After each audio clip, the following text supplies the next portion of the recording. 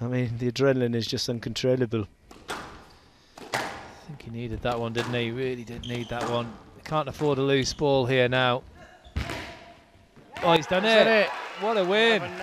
What a win for Charlie Lee. That's Nice. absolutely nice phenomenal. He's always gracious in defeat, Mohamed ElShorbagy, and he hardly ever shakes the hand. If he's on the court, then he's going to give it everything. And there's the de- delight for Charlie Lee. What a wonderful win that is, and hopefully it's a springboard to uh, going right up the rankings for Charlie Lee.